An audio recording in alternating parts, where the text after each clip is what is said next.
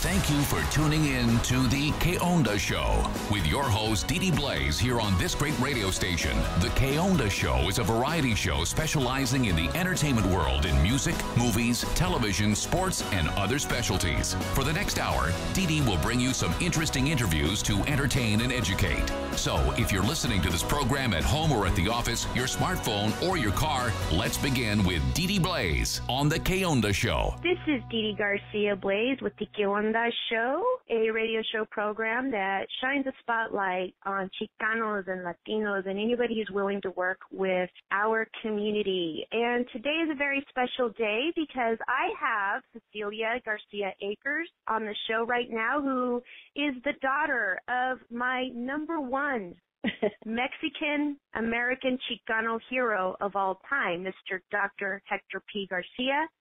Cecilia is the daughter of Dr. Hector P. Garcia and Wanda F. Garcia. She was born in Corpus Christi, Texas. She graduated from Incarnate Word Academy and attended Del Mar College and Texas A&M University, Corpus Christi. She is a graduate of St. Mary's University with a degree in biology and a graduate of the University of Texas Medical Branch Galveston with a degree in physical therapy. Her first job was medical assistant to her father, who was also a doctor, Dr. Hector P. Garcia, for 10 years prior to completing her physical therapy curriculum. She served on the Texas State Board of Physical Therapy Examiners for 12 years and five years as board chair, being appointed by Governors Mark White and Ann Richards. She was a member of the National Examination Committee for Physical Therapists for four years and has taught as adjunct faculty member at the University of Texas Health Science Center. Welcome to the show, Cecilia. I also want to point out that you are the founding member of the Dr. Hector P. Garcia Memorial Foundation, and you're currently serving as board president and chairman. Yes, Dee Dee, thank you so much for having me on your program. I'm so excited to be speaking to you. Tell us about yourself. I mean, your dad is an inspiration to me in what I do in politics. He did it right. He went straight for the jugular. And just share with my audience what you love about your dad and you know what I mean? How he inspires Chicanos and Mexican Americans to continue to be politically active. Well, I, I think, you know, first of all, he had a personality about him that is, you know, someone like him comes around like every hundred years. I mean, you're, you're never going to see another man like him. Mm-hmm. Uh, he, he just knew how to get people to participate and to help him. He was always kind to everyone he was highly educated. He was he was one that we could look up to, uh, but he was very strict, and you know, he never took no for an answer. Mm-hmm. And uh, now I am writing a book about him and uh, kind of detailing his life and certain events in his life that impacted him to be who he became. So it's been it's been very good for me and, and educational and inspiring also. You know, you told me that you know, he had a per- he had a strong personality. He just never took no for an answer. Can you share a moment that affected you as a as a young girl watching him in his political activism? What was that moment that brings you to say that he didn't take no for an answer?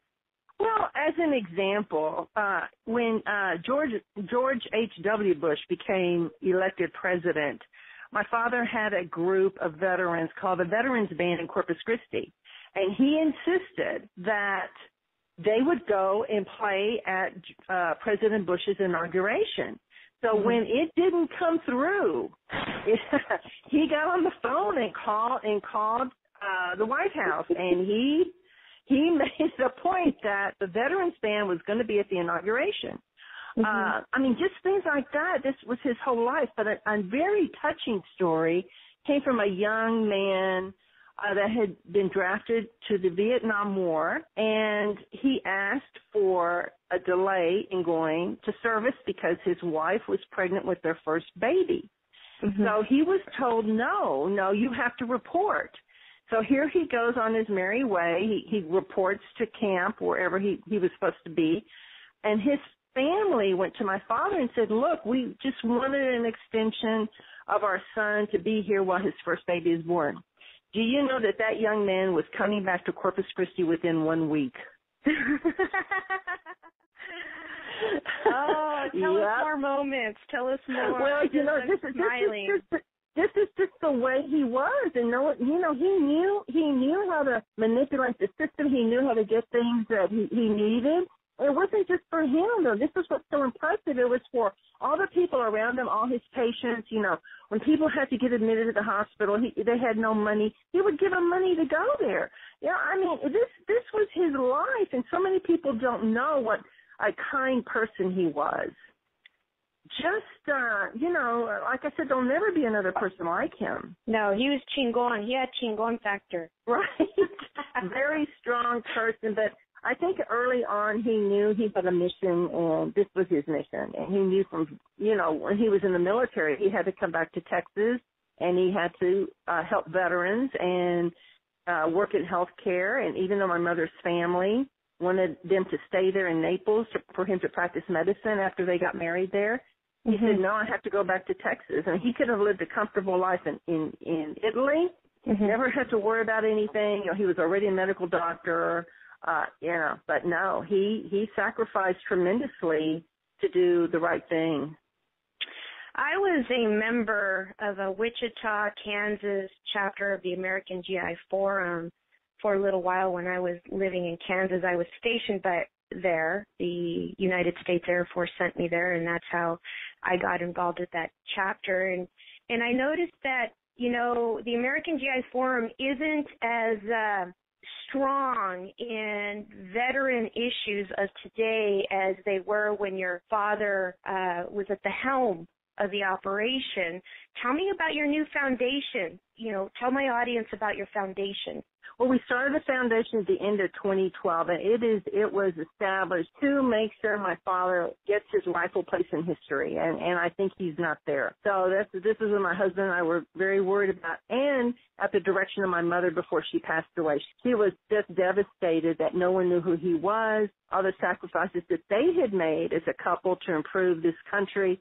So we started the foundation. We've, we've given out $25,000 in scholarships so far. We wow. are working with Texas A&M to build a Dr. Hector wing at the Bell Library so all his artifacts and his papers can be displayed and people can go research. You know, we we we are getting a new facility named after him in Corpus. The first oh. primary care facility there in Corpus Christi will be named after my father, and that that's through Christus Spohn. So I have another national award coming out this fall uh, named after him. I have my book is coming out. So I, it was really a good move. It really was to separate us from the American GI Forum and do our own thing and really focus on him and his life and his accomplishments. Congratulations on the Thank clinic you. being named after him. And part of the reason for this show, Cecilia, is to continue on um, to to catalog Mexican American and Chicanos and Latino greats, so we can pass on history to the future generation of Mexican Americans. And that's why this show is special because you are the daughter of Dr. Hector P. Garcia, who who's no longer with us, and may he rest in peace. I kind of want to get political with you, just a okay. little bit of um, you know, we've got elections coming up in 2016, and um, it doesn't surprise me that the Republican Party, uh, one of their candidates by the name of Donald Trump, who is very anti-immigrant and um, made a sarcastic remark on a national show to the tune of how immigrants are a slap in the face to veterans of today. And given the history and the work of your dad, do you have any comments? Well, the, when I hear when I hear this, I've been hearing this for anti-immigration discussions for a few years now. And you know what I you know what I tell those people? I point to a picture of my father and I say, "There is an immigrant. He immigrated here when he was three years old. My mother is an immigrant who has a PhD in classical literature. I mean, you cannot just throw immigrants into a, a classification like none of them are any good. You know, I mean, here they made their lives what they were and they immigrated here. My grandfather brought his family here for a better life and yet they worked the fields, they picked cotton, but they also had very high educational goals which six of his children became medical doctors, and two of them were females. So, it it can be done. I I think that Trump is now just placing fear into people, and mm-hmm. you know, mm-hmm. people think that immigrants are taking something away from them. But you know, they want to assimilate into a better society, get an education, be able to vote, you know, have a good life, get get health care, get medical care, be taken care of like any other person would. And and I I just think that he's been successful by putting fear into other people. And you know, I don't think he'll I don't think he'll go on much longer because people are I don't think he can sustain it. I really don't. I hope not. Not to mention the billions and billions of federal tax dollars that immigrants contribute to our national coffers as well as state and local coffers. If it wasn't for immigrants, you know, our nation would be bankrupt from a labor standpoint. And also, you know, a lot of the anti-immigrant sentiment is coming from the Tea Party. And to me, it's very asinine and hypocritical of these Tea Partiers where the foundation of the Tea Party, taxes. And if anybody is not represented, it's the undocumented taxpayer. Right. Tell us some more moments. Share moments about your dad. I know. Well, one thing, you know, writing my book, I've been doing some research on his mm-hmm. life because he was he was not one to come discuss things. Uh, he didn't talk about his political wins over somebody. He didn't come in and, and you know, he he just wasn't like that. But one of the things I think is very very important about him that he went to segregated schools. He went to UT Austin, graduated top 10% of the class. He went to UT Galveston. When he graduated, there were only three Mexicans in the entire country graduating wow. that year. He went to have to go to Omaha for his residency and, and um, surgical and medical residency. They would not accept him in Texas. So he graduated from St. Joseph's Hospital in 1942. He served in the military for four years. He gained the rank of major. Uh, they would not give him his captain rank. Uh, I saw two denials for different reasons, but also there were two uh, letters to him saying we lost your application. Ha ha. Yeah. He kept going and going. But the most interesting thing about that man that I did not even know that he was not a U.S. citizen until November the 7th, 1946. So he fought in World War II. He took care of thousands of soldiers. You know, he fought through this this system that tried to keep him down, and he made it. And he was not even a citizen. November 7, 1946? Yes, that's when he gained his U.S. citizenship. I'm doing some work with uh, some deported veterans who honorably served our nation with honorable discharge, and the government doesn't do enough with uh, ensuring that they get their earned citizenship.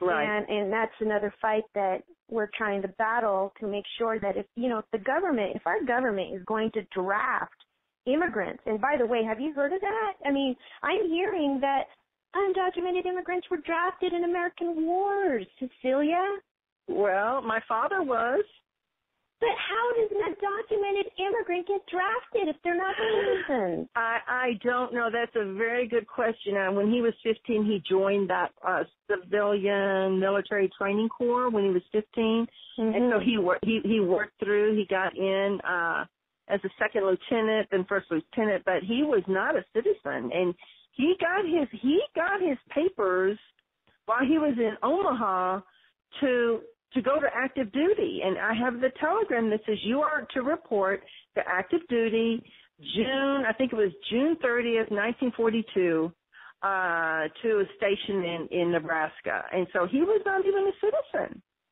Wow, Cecilia, when, when, when do you expect your, what's the name of your book and when do you expect it to be published? Well, it's supposed to be, um, all the all the uh, manuscripts supposed to be in at the end of October. But the title of the book is Dr. Hector P. Garcia, uh, Physician, Soldier, Father, A Daughter's Perspective. Okay, and we are going to take a quick break on the sure. show. And with me is Cecilia Garcia Akers, the daughter of the famous Dr. Hector P. Garcia, the founder of the American GI Forum and uh, we will return after these messages. Let's continue the program in a minute. You're listening to The Que Onda Show. We'll be right back. A message from George Lopez. Today's library is not what you remember. It's even better. Want to research your next vacation? Get homework help? Write a resume? Surf the web? Or maybe you just want to curl up with your favorite book and enjoy some peace and quiet. It's all here. It's all at your library. A message from the American Library Association's campaign for America's libraries. A public service announcement from your friends at CRN Live. Need to get away for a while to rejuvenate? Then consider a vacation house in the beautiful East Valley of Mesa, Arizona, near a variety of water parks, rivers, and lakes, and other types of entertainment to wash the stress away. Just go to www.redmountainstay.com to get started on your vacation arrangements or call 480 436 9005 to reserve your stay. Also, a great idea for Arizona residents wanting a vacay stay. Corporate housing is also available. Ask your representative for more details.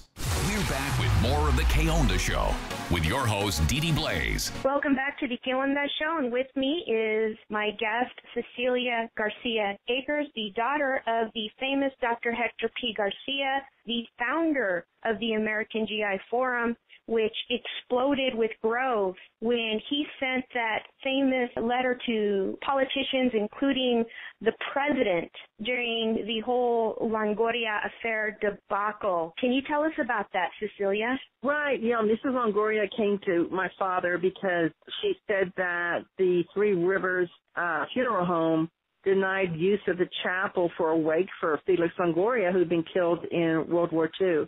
So he, of course, that was not acceptable to him. Like he would never take no for an answer. Mm-hmm. So he sent out all these telegrams. He called the funeral home director that verified, yeah, no, we don't, we don't let Mexicans use our facilities because they get drunk and they're rowdy and blah, blah, blah, blah. So he sent a telegram that reached uh, Senator Lyndon B. Johnson, who wrote him back, and he said at the widow's uh, his widow's approval, I will have Felix Longoria buried in Arlington National Cemetery, which was in February of 1949. Wow. So he was the first Mexican American buried in Arlington National Cemetery. That's the ultimate slap in the face. That is, and even Senator Johnson said, I, I hate to see racism extend even beyond our life, which is exactly what they did. And, you know, they denied it and caused, called my father a liar. Even to this day, people from Three Rivers say he was a liar. And I mean, I had been to arguing with them about that, and you know, it's just uh, they just they just can't believe they just don't want to give him the uh, credit that he deserves for what he did. And, and what they did was wrong to Felix Longoria, Private Felix Longoria, and to his widow. I mean, that's the sad part. Here she is trying to handle her husband's remains and they mm-hmm. are just, you know. Wow. What are some more moments that you remember? I know. I, could, I, I, I just talk. sucking this up like a sponge, you know. I could talk all day. Well, you know, I, th- I think I worked for him in his office. I think that ta- taught me so much about how to treat people. He taught me the best medical care, which I use today as a physical therapist, and how to take care of people. Uh, he was so generous with his time uh and, and you know i think everybody just loved him i mean there was there there were moments with him every day that i am so grateful for those moments that i had with him that could never be replaced things i could never learn from a book uh he was just an incredible incredible man uh highly intelligent but he never made you feel that he was I think that was a good point about him. He could talk to the president of the United States, he could talk to president of Mexico, but then he could talk to his patients on their level and make them feel good about themselves. So he was so well loved that, you know, I, I even a book I'm writing about him cannot cover everything uh, about my father. And and you know, he has many many accomplishments. You can go to my website and see a page there of his accomplishments. Give us your uh, website. It's www.drhectorpgarciafoundation.org. Okay, and where can they locate you? on Facebook, Twitter, Instagram? Yeah, my Facebook is there, Dr. Hector page. Uh, the foundation has a page. I have a personal page. And on the website is my cell phone number that they can reach me in my email. So I am very reachable.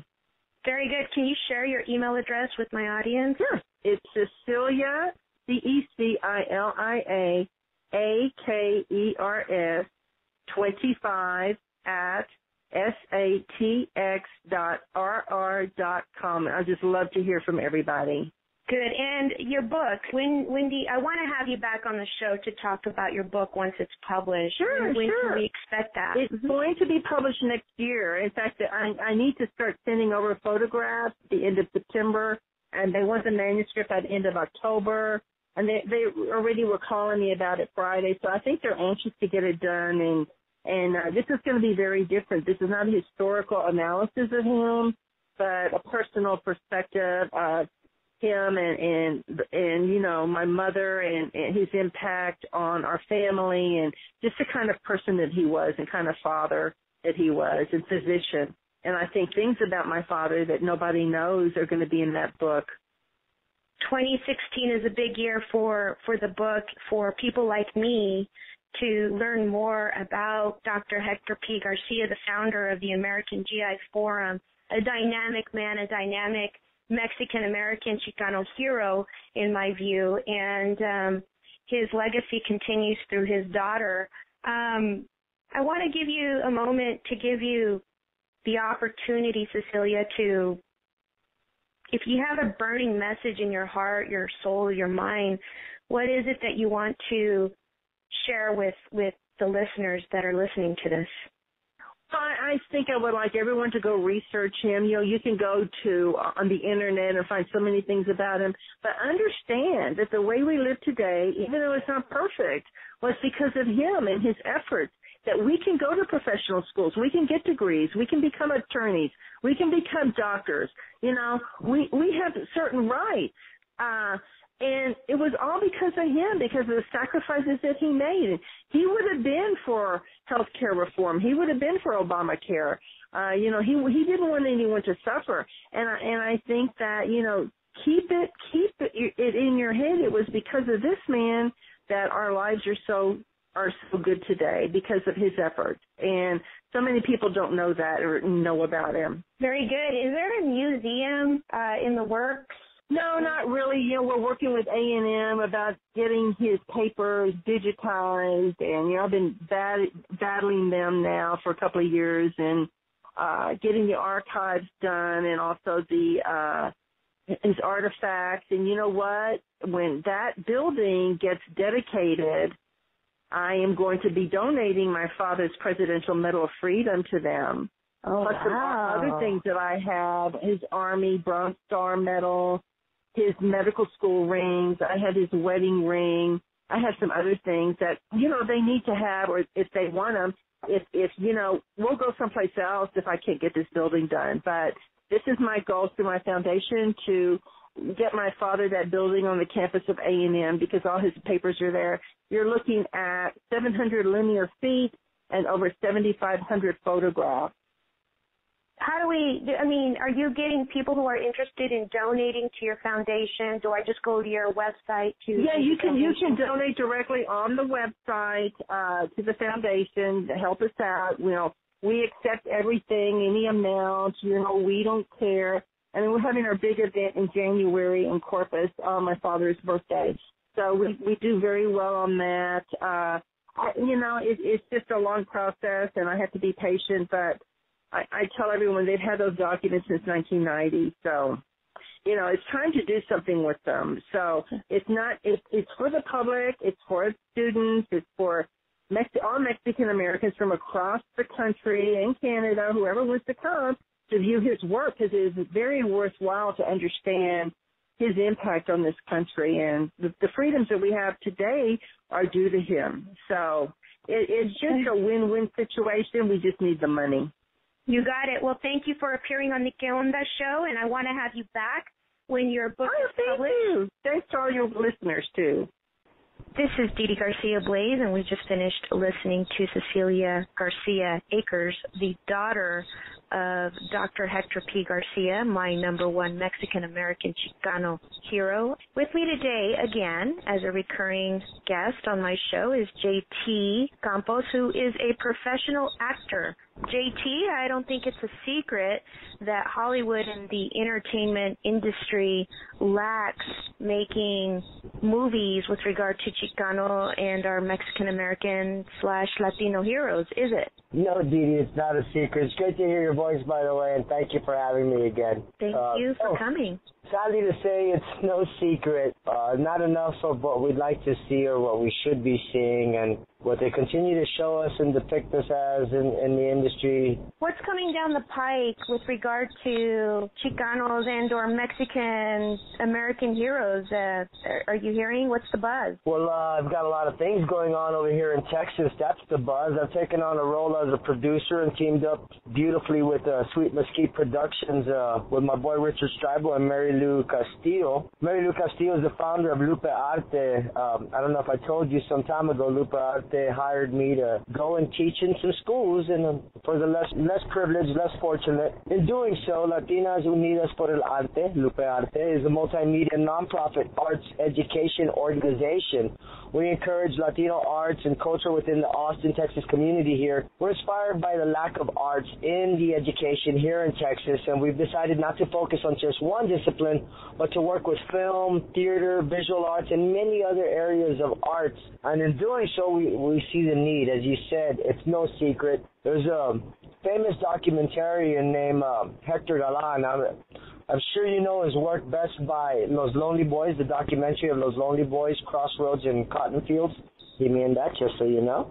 Uh, but yeah, that was my first introduction to Hector Galan. Hector Galan is just an amazing man. He's also best known for his four-part PBS series Chicano, history of the Mexican American Civil Rights Movement. And I've just had the pleasure of the pleasure and the privilege of just working alongside this gentleman and and I mean you want to talk about making the Chicano movement happen. That this guy's doing his thing with the documentaries and he's helping with Daniel Peña. Daniel Peña is a documentary about uh, a gentleman who's helped keep the tradition of the Mexican national sport like charreria going. And I don't know if you know about the charreria. It's a cultural tradition sport. It's practiced in Mexico and of course here in the United States uh, you have male participants called the charros. They compete in roping and riding events, and the escaramuzas are teams of women. They execute daring feats and precision maneuvers while riding side saddle.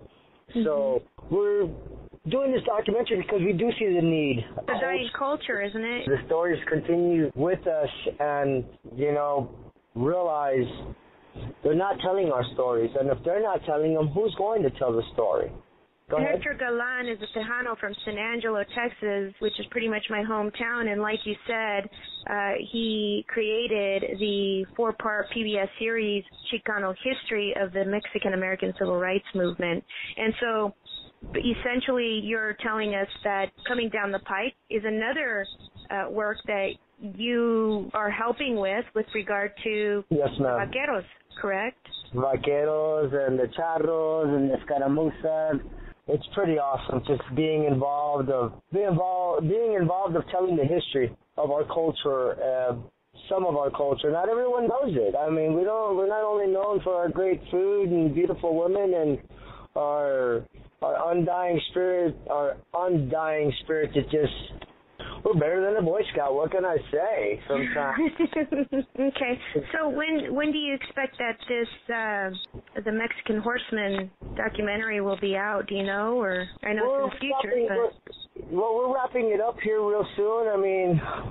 Gosh, honestly, we'll be filming our next scene the 20th on another charreria here in Austin, Texas no worries on that. I don't want to really get into the specifics of where okay. and when, but sure. we, we we are filming and that's pretty much our last piece in our last segment. And after that, we go back to the editing table. We chop it up, piece it together, and hopefully by January, February, it should be out. And uh, then we go into working with uh, the beautiful gentleman that you had on your show recently, Mr. Alan Hernandez. And doing his thing also with Hector Galan because uh, he's just moved by that gentleman's art. Going with uh, who we are as a people. So many beautiful things, Dee.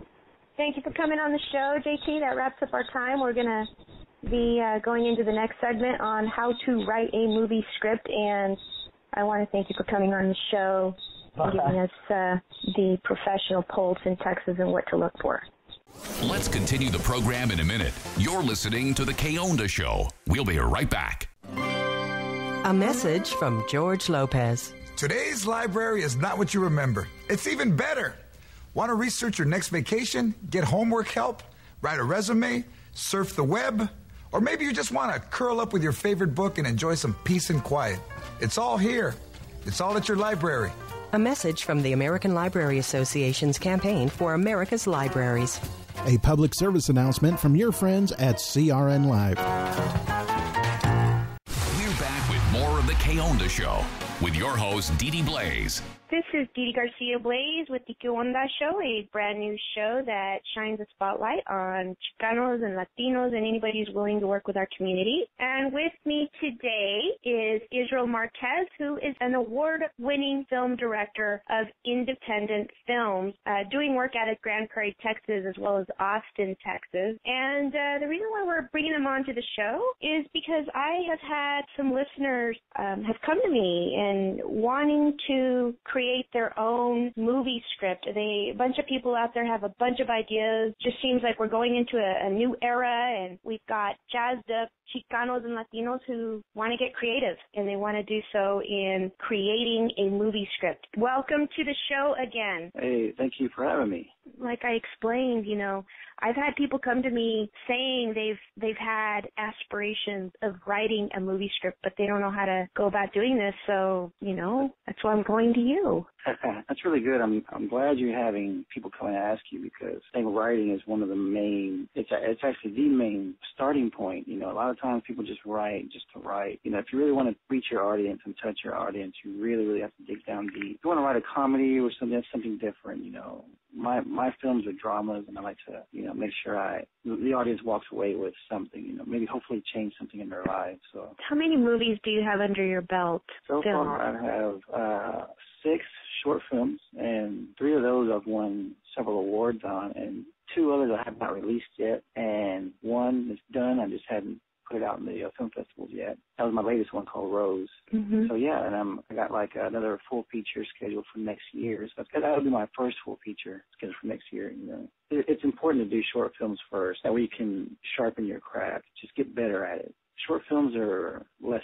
There's a lot of people that uh, make the mistake of going directly into a full feature, and 99.5% of the time it's going to fail. And I only say that because, you know, I, I'm telling you from experience. How many pages is typical of a movie script for a short film versus a full featured film? It all depends. You know, I usually uh, regulate my films by film festival because they all have like different criteria. Some will say just 10 minutes, some will say 45 minutes. You know, it just all depends. I always tell people write and write until you're done, regardless if it's short, how many regardless if there's five pages or a hundred pages. Just mm-hmm. write until you're done and you tell your story and you're happy with it. And then they can sort of condense it from there. Yeah, or they can leave it the way it is. You know, most of my films are like 30 minutes, 25 minutes, the short films. You know, and some people always tell me, "Hey, you need to cut it down." I'm like, "No, it's good the way it is. I'm not going to cut it." you know. and there are there are film festivals you can submit to that only ask for, like I said, 10 minutes. It can be 10 minutes max or 45 minutes max. You know, so you just there's, there's a wide range out there now. So just write and and write until you're done and you're happy. What are the basic mechanics writing a movie script? For for me, just speaking for myself, I think starting off with you have to tell yourself what kind of story do I want to do. All right, so it can either be a drama, horror, you know, comedy, but you, mm-hmm. you have to identify with what it is you want to do first. And from there on, you know, what I usually do is I'll, I'll listen to music because everything that I write is musically inspired. There's not one screenplay that I have not written that didn't come from a song that I heard or playing guitar or something, you know. Everything, everything's musically inspired, you know, for me. So that's what I do. I'll go and find some music, listen to the radio, go through my uh, CD collection, and just find, find some song that moves me. And once it does, you know, I I get the inspiration to write, and I just I start writing and come up with a really great story, and and then just you know creating good characters, good dialogue. In a drama, you want to reach your audience. You want them to walk away with something. like my first film, Hades Angel. It was it was my first short film, and there was no dialogue. It was all just mm-hmm. acting and music. It was a silent film. I had everybody in the theater at the film festival that were crying. You know, at first I thought they were crying because it was such a bad film. but at the end, they were like, "Man, that really touched me." You know, I was able to do that without any words. That's when I knew that was my thing. So then once I started doing dialogue and stuff like that, I started to understand the mechanics of music, dialogue, scene, the mood of the scene, and your actors. And you got to pick the right actors too. How do, how does a person create that interesting plot? I mean, can you give us some plotting skills? Yeah, basically, I go back to you know listening to music. One of my short films that's in circulation in the film festivals right now called No Sunshine. I had no interest in writing a crime drama or anything like that, but this song mm-hmm. came on while I was on my way to Austin actually, it was uh Ain't No Sunshine by Bill Withers. Mm-hmm. And as it was playing right away I, I kinda got I saw the ending, you know, so it's these two guys robbing a convenience store. Uh they ended up one had to end up killing the other because he was gonna kill an innocent person and the other one wasn't like that. So right away just from that song I got that scene. So I started writing that scene and I started writing backwards. I wrote from the end to the back to the beginning. Pretty much all my plots, all my ideas, all my inspirations come out of music and they can hit me at any time. And, and people will be inspired to write different ways. You know, that's just my way. Now, when you start writing out your script, do you have like a like a board where you just sort of start out with this outline, or do you start out with an outline and then you start writing from the outline, or how does that work? Everything's just from the imagination. As soon as I see the scene in my head and the music starts playing, I'll continue to write it, and I'll have that song playing constantly until I'm done writing the the whole screenplay. What's the longest in pages, the longest screenplay you've written? The longest screenplay I have to date is over 500 pages. And it's because it's a story of my life as I was growing up. I was a boxer, a professional fighter, and just all the stuff that I saw in my life. And, you know, so it, it's endless. I could write more to it. And I'm going to have to take that 500 pages and narrow it down to maybe like 100 or 90, you know. So, but yeah, that's my longest screenplay. I know that you're working on a film regarding the lead singer of Chingon, Robert Rodriguez's band. Are you done with that movie script? Is that a work in progress? The, the screenplay is, I would say, about 70% done. But what we had talked about, me and talking about Alex Ruiz, me and him talked about it, and I think we're going to go ahead and try to do a TV series with this story. I've been interviewing a lot of people that have interesting stories and they've lived this long road and and they want to write about their life. And so you're suggesting that they just, you know, break out the the typewriter or the computer or a, a pad and start writing and that's how you start and just write write write and so how would these people drop a movie script into a film director's hand, Israel? I mean, do they go to people like you? How does it work? You know, you you write your screenplay. It's good. Uh, if you don't want to shoot it yourself or you don't have the means, you know, I write my own stuff. I direct my own stuff. I shoot my own stuff. I edit my own stuff. You know, but if you don't want to do that and you have a really cool screenplay that you feel that's it can you know, do something with it, it's good to go to like uh, mixers and you know, industry mixers and stuff like that and get to know people. Because you just don't want to drop your your baby off at some daycare that you know doesn't really care, right? Screenplays to me are like babies. You know, I take care of them and I, I nourish them and make sure they're make sure they grow. You know, mm-hmm. so it, it's it's always important just to go find mixers and events and get to know some directors and other writers and, and music composers and stuff, and do it that way there's a lot of there's a lot of up and coming directors in the independent industry because you know technology is evolving so much that it's allowing people to be creative. So there's a lot of up and coming directors that are looking for content, you know, to shoot. So that'd be my best advice is to go out there into industry mixers, you know, and get to know some directors and always and this is this is the main thing and this goes on for actors too um, mm-hmm. If you're going to drop your screenplay into a director's hands, ask to see some of their work. You know what I mean? Oh, first. Yeah, first. Hey, what, what have you done? Can I see some of your work? I always tell it to the actors too. I'm like, hey, don't just go and take a job, you know, because the director may not know what he's doing or whatever. They're trying, but it's just it may not be what you want to uh, get involved with. So I always ask to see people's work. but yeah, the, going to the mixers and, and events like that and getting to know some directors, that's the best way to do it. So then they would want to know who the film up and coming film directors are who have a good uh, working experience, and they would obviously want to strike a relationship with them and talk about their movie script, about their lives that they've written, and hopefully yeah. the film director will take it, right? Yeah, just pitch it to them, you know, and usually in the independent film industry, they'll usually do it, you know, because they're they're wanting to, you know, to advance too. Mm-hmm. And a lot of directors don't really write, you know what I mean? I know a bunch of directors that do not write at all. They're always asking me for stuff, you know. Mm-hmm. mm-hmm. so that that's that's very uh that's very important to know because there's a lot of directors out there that don't write and they're looking for content. And they attend wow. all these mixers and stuff like that, industry mixers and it's very easy now. It's very easy. But always ask to see their work. So film directors usually go to these mixers to look for film writers of movie scripts then. Is that correct? Yeah.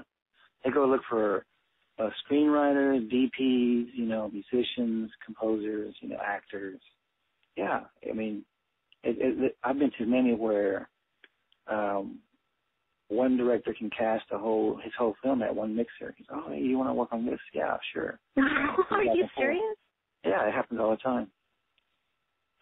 I quit going to mixers because I already have my my team that I have and a certain set of actors that I work with. So, but every now and then I do when I'm looking for a certain person. You know, I want to bring on a new face. Mm-hmm. Like, uh, for instance, today I cast uh, a new face for a little another grindhouse short film that we're doing in next month actually. Mm-hmm. She's new, and you know I met her. It was a, a commercial shoot, and just just stuff like that. You know, you just meet people here and there. You know, and that's just, you just network, just network. Well, thank you. I, in a nutshell, uh, what you're telling me and the audience is, you know, sit down and write your own story about your life, and hopefully it's interesting enough, and get out Yeah. there to these mixers and meet film directors who have good experience, up and coming film directors who are looking for content that is out there be, because many of them don't write, um, and hopefully they can connect that way, and that'll get the ball rolling, right? And it, yeah, and if you really, really want to get down to it, I mean, I take a page out of Robert Rodriguez's book, you know, because he's the guy that got me started, you know, with his book, uh, Rebel Without a Crew, and all his ten-minute film schools.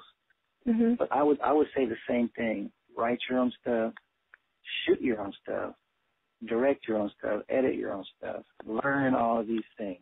That way, you're not dependent on other people. He he said that in his tutorials and stuff like that in his book, and I followed that.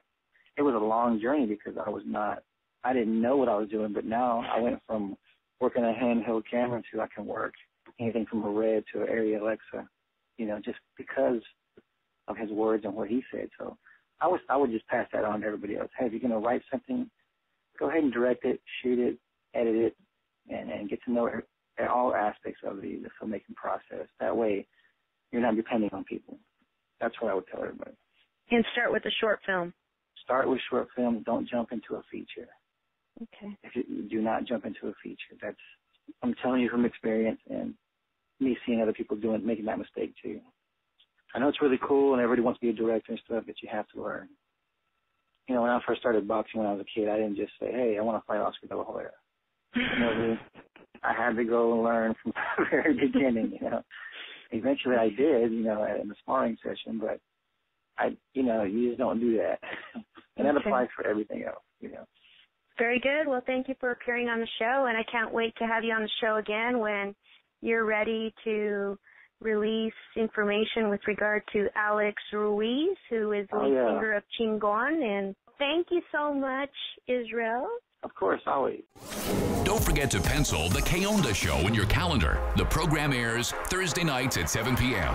and then again on Sundays at 5 p.m. here on CRN Live. Today's segment will be on location, so you might experience some acoustic anomalies which were not fixable in production.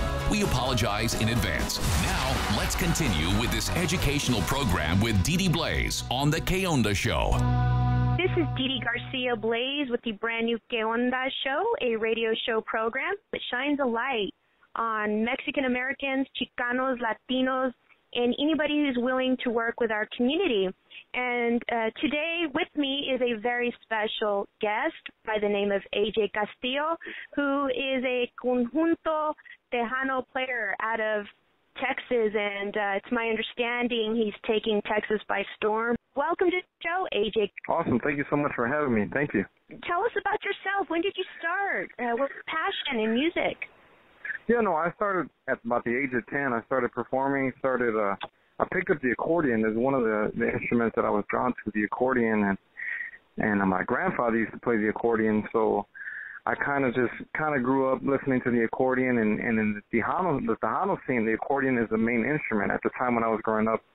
Before, you know, the Tejano in the 60s, there used to be orquesta, there used to be horns, and, and uh, just different uh, synthesizers, and then towards the 90s when I when I was growing up, it was the accordion. So that's that's what I was drawn to, the accordion, and and I picked it up. And ever since then, you know, I've been blessed. At about the age of 15 is when when I really had this this epiphany, you know, to where I had this formula in my head about playing the accordion, and and I just started performing with my dad and my uncle. They had a local band here in Austin, Texas, is my hometown.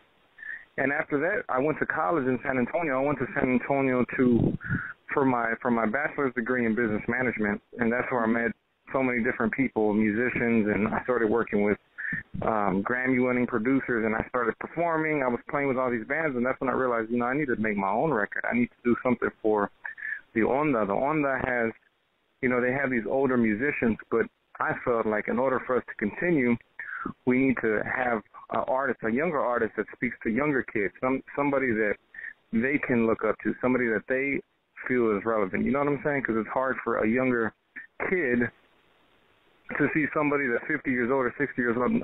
No offense, but you know, for a 10 year old to connect with somebody that's 50 is going to be a little bit. It's kind of it's kind of spread out. It's it's a little bit too far. So I felt like in order to keep our our genre, the Tejano scene, the Tejano music going, is to continue to come out with a fresh new sound, and that's what I'm trying to do right now. AJ, I know what you mean because um, a lot of our listeners include the up and coming of age folks, the younger generation, the next generation. We have a lot of the OGs, the older generation. And so I believe that what you're doing is you're continuing on with the the music and keeping it alive because I've been told that people think that the Tejano music has died and, and I just refuse to accept that. What are your views on that? Well, I don't think it's dead. Clearly, it's not dead, but I just think it's it's a little bit stagnant right now. And and one of the things that I believe is is as an artist, we need to give back to our fans, give back to our Chicano people, give our Tejano people, our Mexicano people uh, a better product. We need to give them better music, better songs, a better show, and we need to give them our all. And what I mean by our all is, if you were to come to an AJ Castillo show, we make time for our fans. We anyone who comes to see me, guaranteed you're you're going to be able to talk to me. You can we can take a picture. I'd love to meet you. I mean, you know, granted there are shows we do. There's ten thousand people. Of of course, I can't meet every person in the ten thousand attendance, but you know, for the most part, we we establish uh, a great fan base and we talk to our fans. We, you know, if you talk to us on social media, you send me a message. I'll get back to you. It might not be right now, but chances are I'm going to get back to you. And I mean, just giving our all, 110% at every show and from from the lighting to the sound to to everything you know it's all for the fans and and I grew up doing it because I love it. You know I think a lot of new artists in any genre they they see musicians they see rappers they see singers they sing just musicians in general and they think man they're making a lot of money and I want to do it because I want to make money. And in my opinion that's the wrong reason to do things you know. The reason why I got into the music is because I love it and I was passionate about it. My dad played it my uncle played Tejano music. My my grandfather's played Tejano music, so it's been in my blood, and I love it. Regardless if I'm making money or not, this is what I love to do. This is my culture.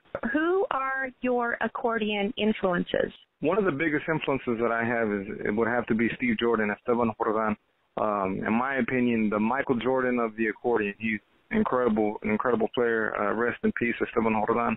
You know, I, I spent many nights um, falling asleep with my accordion, choking myself, uh, to learning learning his songs, every single one of his songs, every single one of his licks, and you know just because I was attracted to his music and his style because it was the hardest. It was so complex. It was just out of this world, and and I wanted to to play the hard songs. I didn't want to play the easy songs. I wanted to learn the hardest stuff. So that was my biggest influence on the accordion. Very good. How can our listeners get a hold of you? Sure, you can hit me up on Facebook. You can look me up, AJ Castillo. You can um, follow me on Instagram. If you have an Instagram, you have to hit me up, AJ Castillo, but instead of an O at the end, it's a zero. So AJ Castillo, LL zero. Hit me up on Instagram. You can find me on Twitter. Uh, send me a message. I'd love to meet you. You can also go to ajcastillo.com. I believe we're going to be in the Phoenix area in December. So we're going to be back in Phoenix in December. It's going to be a very special show. I believe it's December the 13th on a Sunday. It's going to be free for all the listeners. If you're listening, it's going to be a free show in December in Phoenix. I'm really excited about that. I love being in Arizona. Uh, we just shot a DVD in Tucson at the Casino del Sol, and the DVD should be out hopefully uh October, maybe November. October possibly for my birthday. I wanna I wanna have it out by October for my birthday, but if not, it'll be out in November. Tell everybody about it. It's gonna be an incredible DVD. We captured it at the the Ava Amphitheater in uh, Casino del Sol, and the crowd was just turned up. The crowd was uh, energetic, and it's just it was an incredible show. So I'm excited about that. Well, I look forward to seeing you play when you come to Phoenix, and we will definitely promote that. And um, I look forward to your new CD, and I will definitely buy that and let everybody know about that. And uh, now we're going to be playing uh, Dame tu Amor. Thank you for appearing on the show, AJ. Thank you so much for having me. Ándale.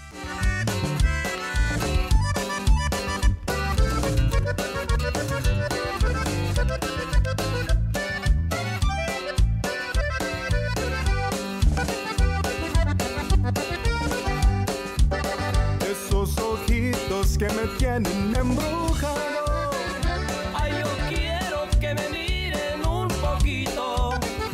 Esa boquita que me tiene enloquecido.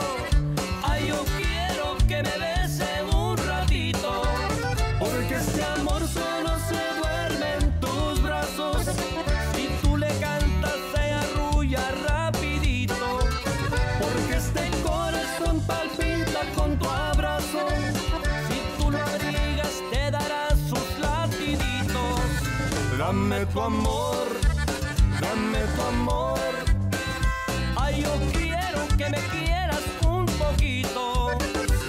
tu amor, dame tu amor.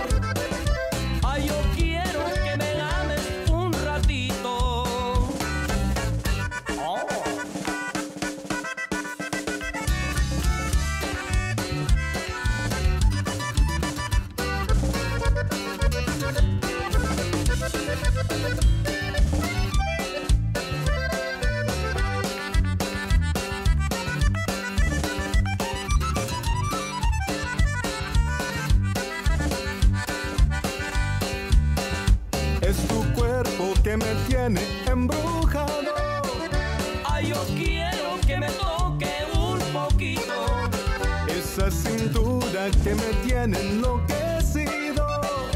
Ay, yo quiero que me baile un ratito. Porque este amor solo se duerme en tus brazos. Si tú le cantas, se arrulla rapidito. Porque este corazón palpita con tu abrazo. Si tú lo abrigas, te dará sus latiditos. Dame tu amor, dame tu amor.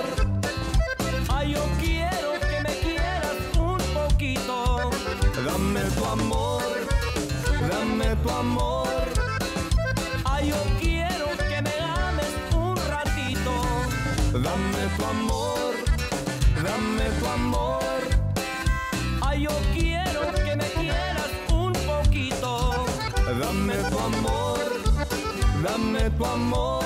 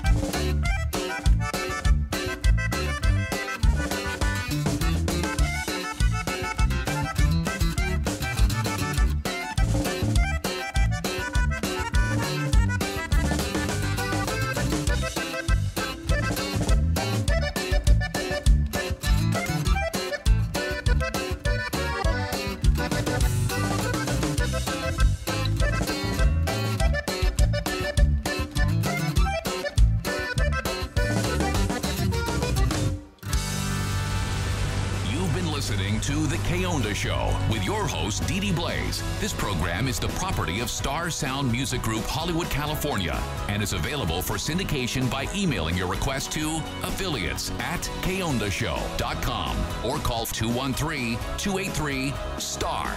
Educational institutions, please call to see if your school qualifies for free licensing on your campus radio station. This program was produced by Dee Dee Garcia Blase. Executive producer is Frank Miranda. Imaging by David Tyler. Thank you for listening to The Que Onda Show. Don't forget to pencil The Que Onda Show in your calendar. The program airs Thursday nights at 7 p.m.